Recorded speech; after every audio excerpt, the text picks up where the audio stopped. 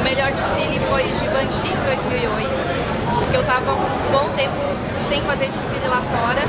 E Givenchy era minha marca favorita, eu amava todas as roupas. Eles me chamaram e eu fui lá e ainda abri o desfile, com um vestido que é o meu vestido favorito. Então foi tudo certo, tudo bom.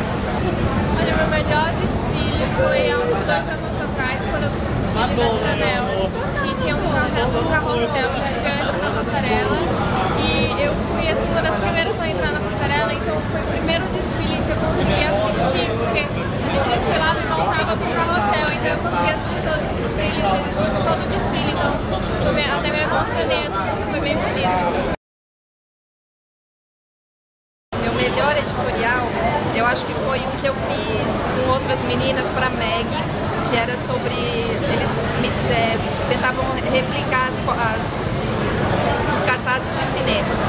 Luciana Kurtz, Daniela Reis e Mariana Weicker, que são minhas amigas, e achei que ficou excelente.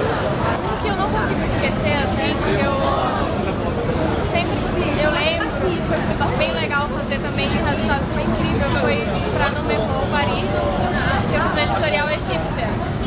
Ficou bem legal, ficou bem assim, exótico.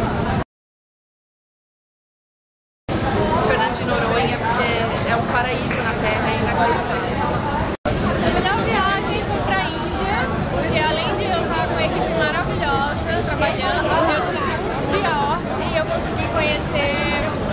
Eu consegui conhecer